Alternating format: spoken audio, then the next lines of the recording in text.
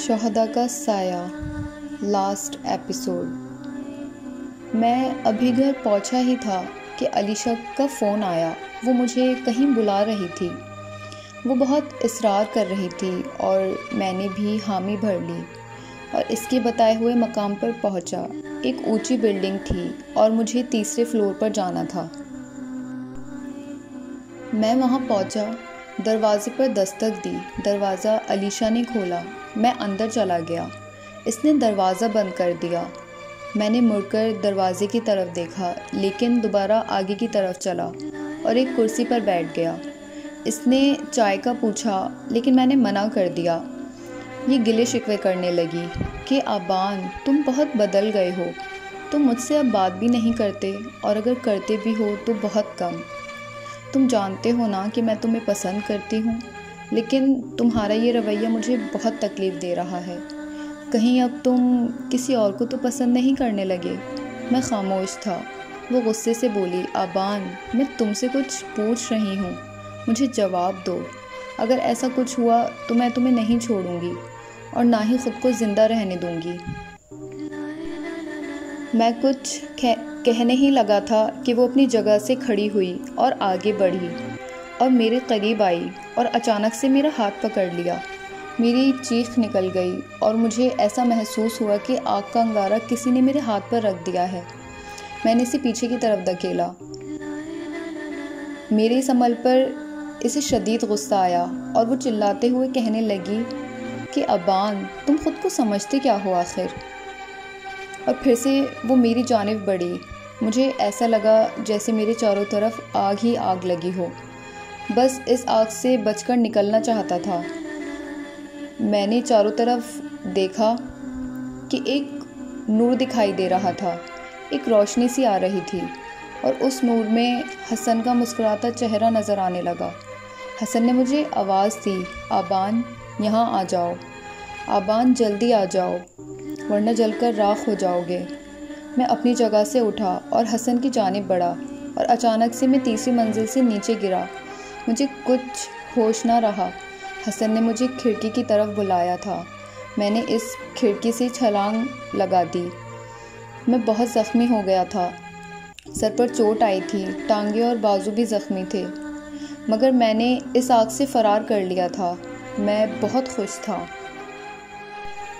मुझे बेहोशी में ही हॉस्पिटल ले गए। मैं दो दिन तक हॉस्पिटल में ही रहा। इस दौरान हसन मुझसे ख्वाब में ही मिलता रहा। एक बहुत ही अजीब बात कही हसन ने मुझसे। आबान, मेरे बाबा के पास जाना और अपने साथ एक फूल का गुलदस्ता और कुरान लेकर जाना। मैंने सवाल किया कि हसन, ऐसा क्यों? और इसने बस एक ही नाम लिया और चला गया और वो नाम था नूर। मुझे पहले तो समझ नहीं आया, मैं सोच में पड़ गया, मगर इस बात को मैं खुद ही समझ गया, जो हसन मुझसे कहना चाह रहा था। मेरी तबीयत जब कुछ बेहतर हुई तो मैं अंकल के पास उनके घर गया। जैसे हसन ने कहा था, मैंने इस पर अमल किया। मेरा ऐसे करने के बाद अंकल मुझे देखकर कुछ देर खामोश रहे और फिर कहा, आबान बेटा, कल तुम्हारे वालदेन की हमारे घर दावत है। उन्हें हमारे हाँ दावत पर लेकर आना और मेरा ये पैगाम उन्हें दे देना। क्योंकि मैं सबका लाडला था, इसलिए मेरे घर वालों ने भी मेरी बात नहीं टाली। मैंने अपने वालदेन से बात की और इन्हें अपने साथ ले आया। बड़ों ने बैठकर मेरे और नूर के निकाह की तारीख रख दी। सब बहुत खुश थे।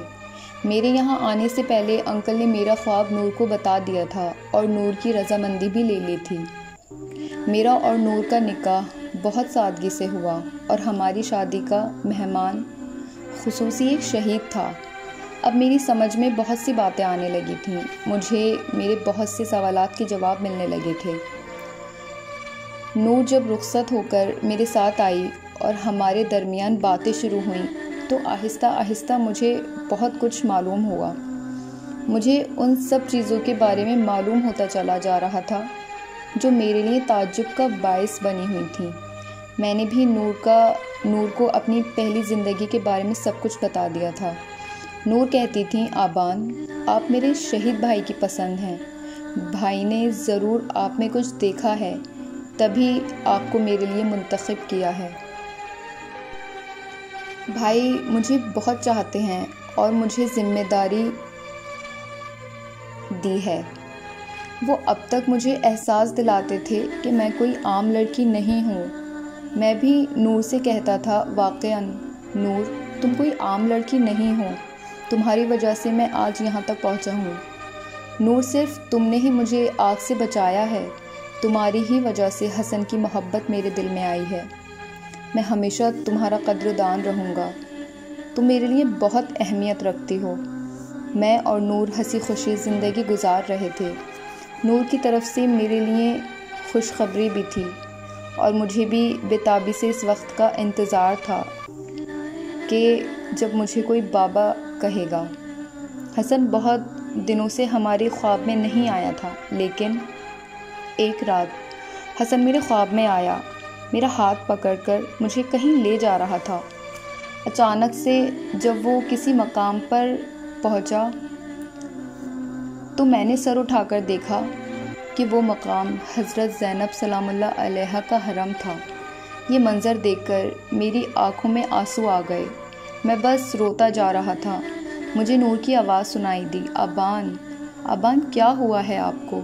आँखें खोलें, आप क्यों रो रहे हैं? मैं ख्वाब से बेदार हुआ तो मालूम हुआ कि मैं वाक़ रो रहा था। मेरी आँखें आंसुओं से तर थीं। मैंने नूर को तमाम किस्सा सुनाया।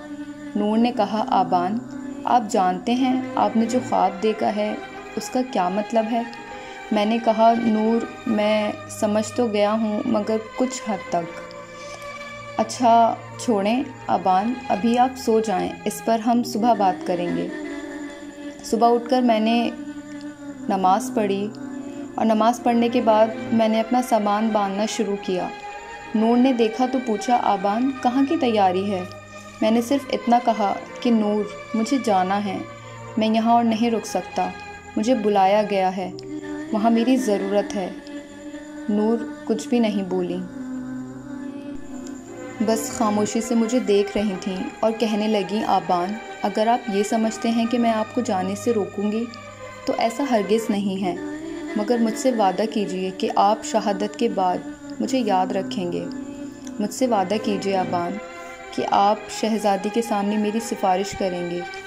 मैंने कहा, मैं तुमसे वादा करता हूँ नूर, कि जैसा तुम चाहती हो वैसा ही होगा, मगर एक वादा मुझसे भी करो। नूर ने कहा, कैसा वादा? मुझ पर दास्तान लिखकर दुनिया को बताना कि मैं कैसे बदला, कि किस तरह एक शहीद ने मुझे अपनी तरफ़ बुलाया, किस तरह मैं एक पाकिज़ा लड़की की तरफ़ खिंचा चला गया।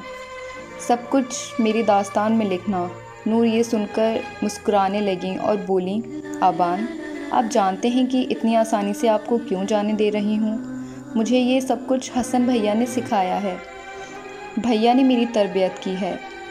हालाँकि आप मेरे शौहर हैं इस वक्त।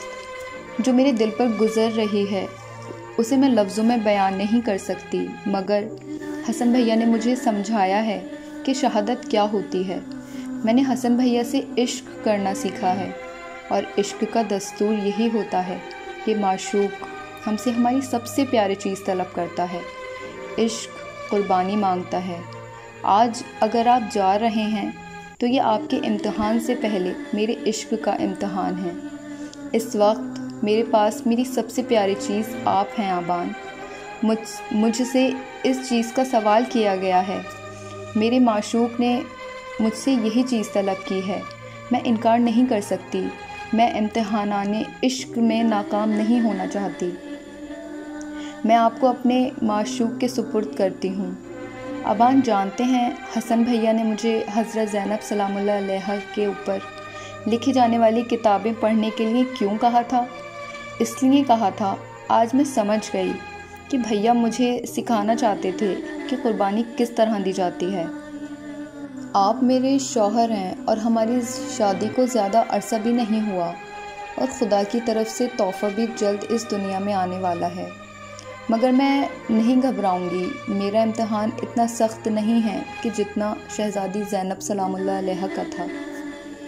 मैं जब भी शहज़ादी के बारे में सोचती हूँ तो बहुत हैरान होती हूँ। अबान, कितना तकलीफ़ दह होता है वो लम्हा कि जिसके लिए आप अपना सब कुछ कुर्बान कर दें। किसी की गर्दन पर खंजर चलता देखो। शहज़ादी आपने वक्त के इमाम के लिए अपना घर, अपना शौहर छोड़कर करबला आई थी। करबला में अपने बच्चों को भी वक्त के इमाम के ऊपर कुर्बान कर दिया। कभी कभी बहुत हैरत होती है कि जब बीबी ने अपना सब कुछ कुर्बान किया होगा तो इनके माशूक ने भी बीबी से सबसे प्यारी चीज़ तलब की होगी, इसलिए इमाम हुसैन अलैहिस्सलाम का सर नौके नेज़ा पर बुलंद हुआ। और इस पर बीबी का ये जुमला, मैंने खूबसूरती के सिवा कुछ नहीं देखा।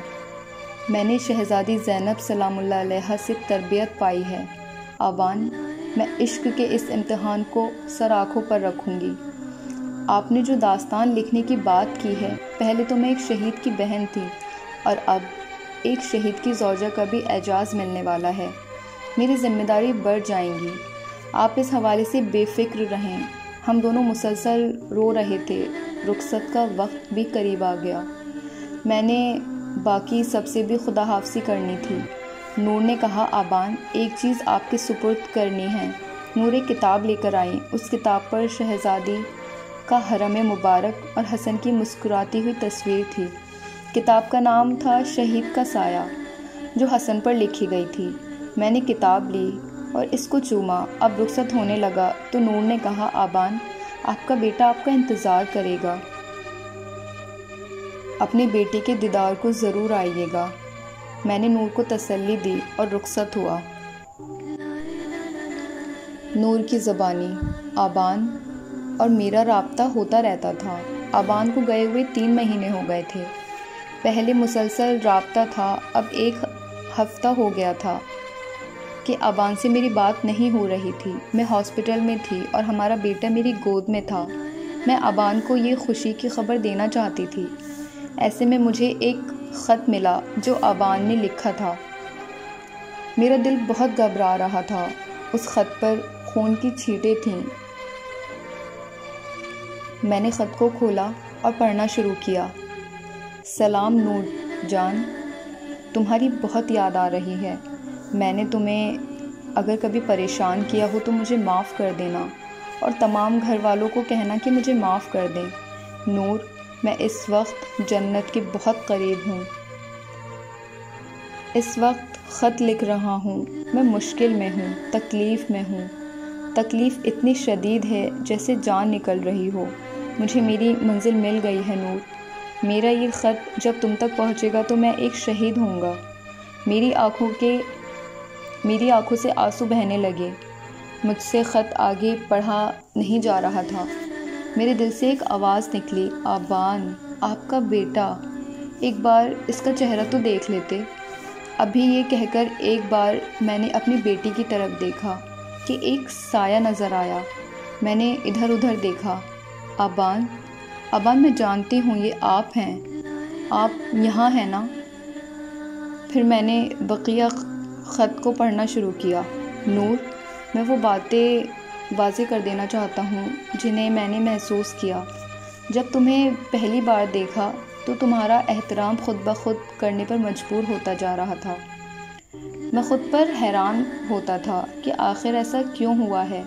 मैं सोचता था, शायद तुम्हारी जैसी इस दुनिया में कोई और लड़की है ही नहीं, मगर अब इस बात को जाना है। ऐसा इसलिए था कि मेरी जिन लड़कियों से रगाबत थी, इस दौरान तुम इन सब जैसी नहीं थी। सबसे बहुत मुख्तलिफ़ थी, बहुत जुदा थी। एक और जवाब मिला मेरा और हसन का रबता इसलिए नहीं हो पा रहा था क्योंकि मेरा रबता ना, नामहरमों से था। नामहरम शहीद से दोस्ती में बहुत बड़ी रुकावट हैं। ये तो मुझ पर खुदा का एहसान था कि उसने इस रुकावट को ख़त्म कर दिया। नूर, तुम बहुत खुश नसीब हो कि अब तुम्हारे साथ दो शहदा का साया है और नूर एक आखिरी ख्वाहिश तुम्हारे सामने रखनी है। मेरे बेटे को मेरा सलाम कहना। मेरे बेटे की तरबियत ऐसी करना कि वो खुदा का आशिक हो जाए और शहादत को शीरी समझे। मेरी आँखें नम हो गईं और ख़त पर गिरने लगीं। आखिरी जुमला जो ख़त पर लिखा हुआ था वो ये था कि, नूर, मेरे बेटे का नाम हसन रखना।